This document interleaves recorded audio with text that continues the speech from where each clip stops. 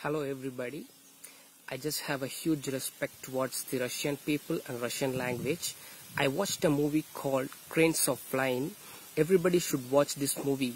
This movie just portrays the World War II's cruelty and how the Soviet Union fought Germany. There is a character named Veronica in the film.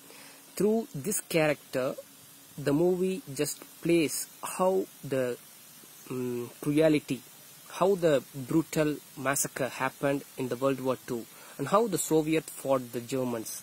It's really such a good movie. The director just, the load of emotions. The director shows the emotions that happened in the World War II situation and how the Russians faced, not only the Russians, the Soviet Union, how they faced this cruelty and how they fought the Germans. This is the story and such a fantastic movie to be watched. Everyone should try try this once. Thank you.